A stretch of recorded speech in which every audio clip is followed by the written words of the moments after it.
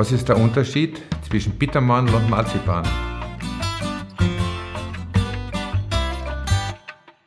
Sehr oft findet man in Destillaten typische Bittermandel- bzw. Marzipantöne, vor allem in der Marille.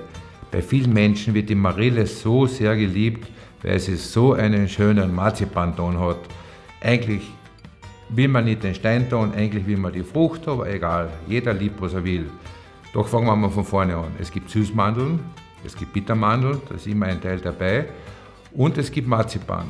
Nimmt man die Süßmandel her, dann hat man eben in einem Destillat, wenn man so will, von der Beschreibung her die Süßmandel.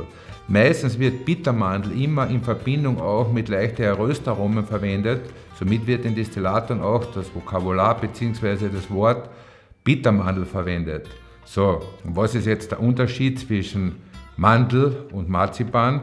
Eigentlich ist der Unterschied nur eine Zugabe, nämlich das Rosenöl. Rosenöl ist im Marzipan drinnen, Mandel bzw. Bittermandel ist die Basis Süßmandel.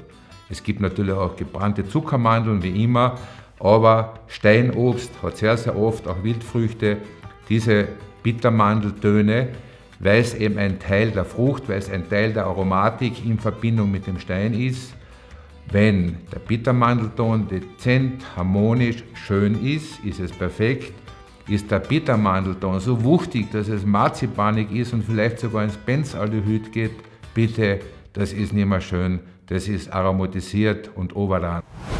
Als armes Göl servierte ich Ihnen heute kleine Happen sensorisches Wissen kompakt. Haben Sie Lust auf das gesamte Menü? Ja, dann gehen Sie bitte auf unsere Webseite IWS-TV oder auf YouTube. Liken Sie bitte die Beiträge, abonnieren Sie bitte den Kanal. Bis zur nächsten Folge von Inside World Spirits.